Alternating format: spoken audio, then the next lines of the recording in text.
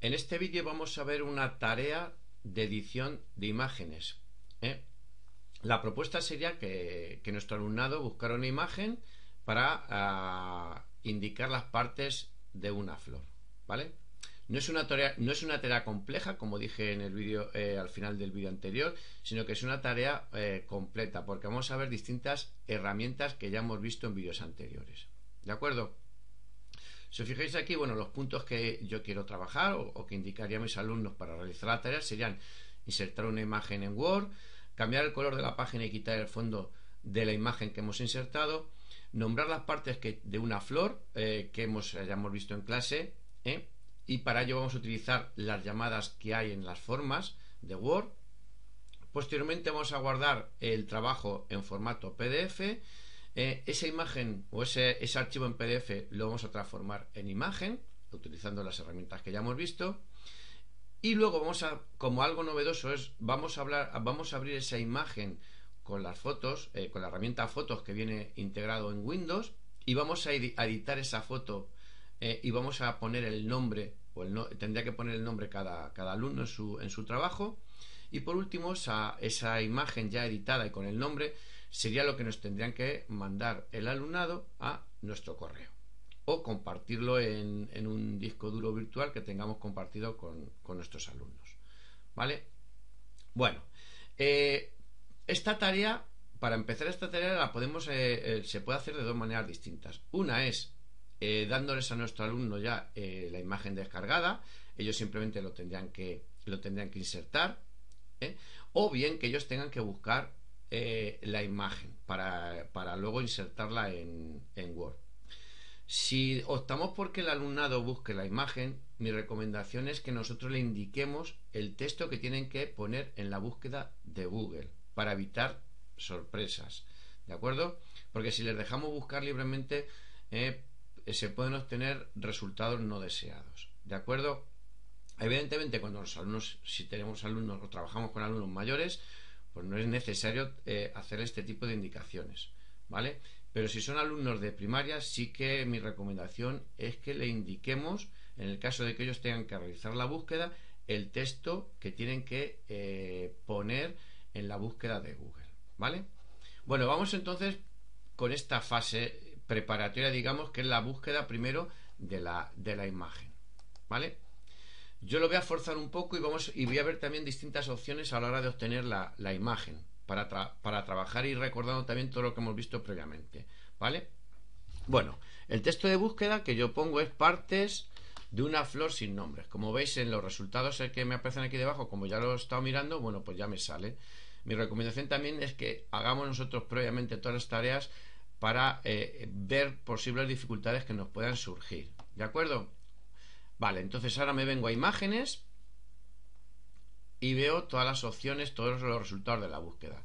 Eh, la imagen que más me gusta es esta, porque es una imagen muy limpia, ¿vale? Con colores sólidos eh, y que no aparecen las casillas eh, que, como veis aquí, porque como yo quiero que utilicen las llamadas de Word, pues es mejor una, una imagen limpia, ¿vale? Voy a pulsar sobre la imagen ¿Vale? Y aquí veo, como ya hemos hablado, aquí es donde yo debería descargarme esta imagen. Entonces, el proceso sería muy sencillo, botón derecho, ¿eh? y doy a guardar imagen, o eh, el alumno puede dar directamente a copiar ¿eh? y luego pegar en el, en el Word, ¿vale?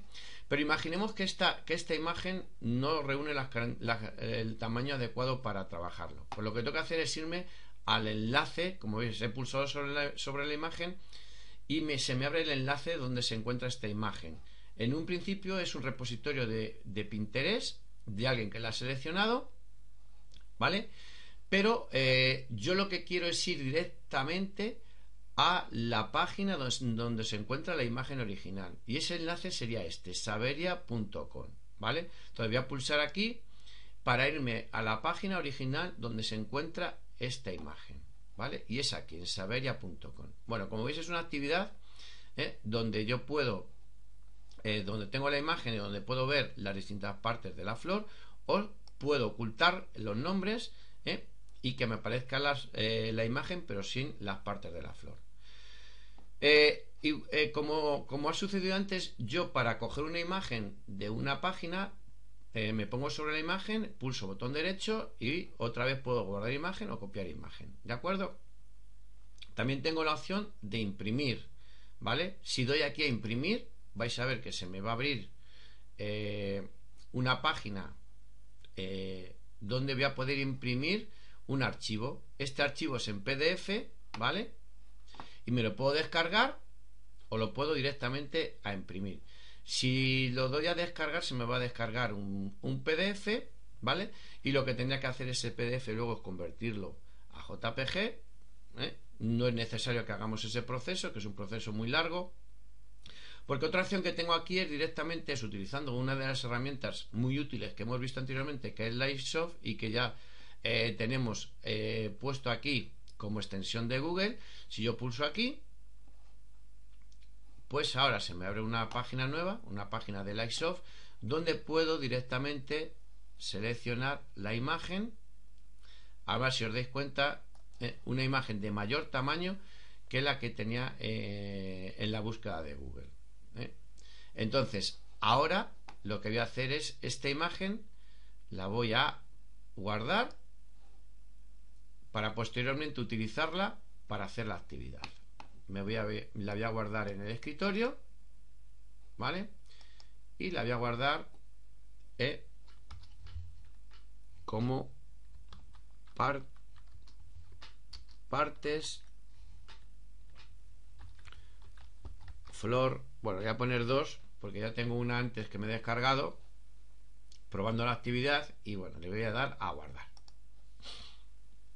Vale. Bueno, ahora ya eh, empezaríamos con la actividad. Eh, tengo aquí un, documento en blanco de Word donde voy a realizar toda la actividad. Eh, vamos primero entonces a insertar la imagen descargada. El proceso siempre es el mismo. ¿vale? Me voy a escritorio porque la tengo en el escritorio y la que voy a utilizar es esta parte del Flor 2 porque es la que me he descargado ahora, ¿vale? Para que veamos todo. Vale, esta es la imagen. Eh, le voy a dar a ajustar el texto delante de texto para poder mover libremente. Y ahora lo que hacemos eh, es cambiar el fondo de la página. Para ello me vengo aquí a diseño de página y voy a dar a cambiar el fondo, ¿vale? Por ejemplo, utilizo este fondo. Como veis que al cambiar el fondo, bueno, en la, a la hora de capturar yo capturé la imagen y tiene un fondo blanco. Pues por eso quiero que ahora eh, eh, quiten este fondo blanco. Para ello me vengo aquí a formato, herramientas de imagen, formato y le damos a quitar fondo. ¿Vale? En, principio la selección automática que me hace, veis que hay partes que eh, no se verían de la imagen y yo quiero que se vean. Para ello tengo que ajustar esta imagen. voy a ampliar la selección veis cómo cambian de color algunas partes porque ahora sí que se van a ver sí que van a ser visibles vale, selecciono toda la imagen correctamente ahora y doy a mantener cambios vale, ya tengo aquí la imagen ¿eh? Eh, limpia, sin, sin, fondo ahora vamos a utilizar las llamadas ¿eh? que vienen integradas en Word en formas para poner el nombre a las distintas partes que hayamos trabajado en clase con nuestros alumnos. Vale, voy a utilizar por ejemplo esta de aquí. Lo único que tengo que hacer es eh, pulsar ahí arrastrar para eh, eh, insertar la llamada. Y ahora, bueno, pues por ejemplo, si quiero filamento, pues vale, el filamento. Y ahora modificando aquí, pulsando y arrastrando los puntos estos de ajuste, pues indico el filamento que es lo que tenía que hacer nuestros alumnos. ¿Vale? Voy a insertar una llamada más para otro, otra parte. Tengo aquí la última eh, la última imagen que o la última forma que utilizo siempre aparece ahí. Y, y aquí. ¿Veis que me aparece eh, orientada hacia, hacia el otro lado? Vale. Para cambiarlo, simplemente o arrastro y muevo los puntos de ajuste o puedo utilizar esta herramienta de aquí, donde pone girar, y voltear horizontalmente. ¿Vale? Veis que al voltear horizontalmente se me ha orientado hacia el otro lado. ¿vale? Voy ahora a indicar la entera, por ejemplo, ¿vale? Bueno, al final voy a mover aquí, ¿vale? Y señalamos la entera. Vale, no voy a indicar más partes, el proceso siempre será el mismo, y ahora lo que vamos a hacer es, este archivo hemos dicho que lo vamos a guardar en formato PDF. Entonces, me vengo aquí, archivo, guardar como, ¿vale? A vosotros mm, este apartado de aquí, imagino que no saldrá porque yo tengo el Adobe Pro, entonces por eso, por eso me sale, ¿vale? Pero bueno, guardar en PDF de todas maneras es muy sencillo. Damos aquí a guardar como, ¿vale? Doy aquí a examinar porque lo voy a guardar en el escritorio. Eh, selecciono escritorio, ¿vale? Y aquí pongo tarea, partes, flor, ¿vale? Y seleccionar aquí el formato, formato PDF. Y le damos a guardar. Vale. Eh, ahora, bueno, ve que se me abre. Este sería el resultado de la tarea. ¿Vale? Y ahora lo que la, la siguiente parte sería coger este archivo y convertirlo a JPG. Para eso vimos también que hay distintas herramientas que me permiten realizar esta conversión. Puedo utilizar Smart PDF, puedo utilizar Convertio, que es otra herramienta de las que os hablé también. voy, a, utilizar esta, por ejemplo. Eh, y eh, utilizo, eh, selecciono este apartado donde me indican la transformación de PDF a JPG. ¿Vale? Se me abre la página, tengo que seleccionar el, el archivo, le voy a seleccionar, le tengo en el escritorio, y selecciono el archivo que he creado. Tarea partes flor.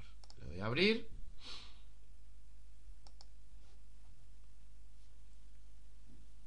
Y ahora eh, eh, selecciono aquí ¿vale? y convierto la página completa eh, en imagen y elegir vale se procesa y ahora ya pues lo descargo eh, si, elijo esta, esta, opción de descarga, me la va a descargar en una carpeta zip, pero creo que esto ahora ya también es pro y, por tanto no lo podemos utilizar. ¿eh? O tengo aquí la opción de descargarme directamente la, imagen, ¿vale? Bueno, damos aquí y me descarga la, imagen donde yo le indique, ¿vale? Dejo el nombre este ¿eh? y le damos a guardar. Vale, ahora viene la siguiente parte. Eh, ya tengo aquí mi archivo. Le voy a abrir con fotos. Directamente, si le damos a abrir, pulsando dos veces sobre él, se me abre con el visor de fotos que viene en Windows. ¿Vale? Eh, este visor de fotos tiene algunas opciones de edición. cada versión de Windows, pues en los accesorios que vienen, pues van introduciendo mejoras. ¿Vale? Bueno. Veis aquí que hay una opción que pone editar y crear pues vamos a darle aquí y vamos a dar a dibujar. ¿De acuerdo? En esta opción, como veis, me, aparecen distintos formatos para dibujar. Un bolígrafo, eh, un lápiz o una pluma. ¿De acuerdo? Y esto para borrar. ¿Vale? Bueno, pues vamos a elegir el formato que sea. Si yo pulso sobre el formato, luego tengo distintas opciones de color. Incluso puedo modificar el grosor de, del, lápiz, ¿vale? Bueno, voy a, a seleccionar eh, otro color distinto al, azul, por ejemplo rojo, para que destaque bien. Y aquí ahora eh, el alumnado tenía que poner su nombre. Yo, José María. Esto simplemente es pulsando, lo estoy haciendo con el ratón. Si alguien tuviera tableta, una tableta gráfica, pues con la tableta gráfica lo haría mejor, ¿vale? Pero yo con el ratón. José María, puedes poner incluso indicarle de qué curso, eh, cuarto, eh, como yo estoy, actualmente estoy en cuarto de primaria, cuarto de primaria, grupo A, por ejemplo. ¿Vale? Bueno, pues una vez que está editada y que han puesto el nombre del trabajo, pues le damos a, guardar, ¿vale? Veis aquí mi selección de guardar una copia, ¿vale? Procesa eh, la edición que hemos realizado, ¿vale? Y, bueno, no cambio el nombre y le pongo y le doy a guardar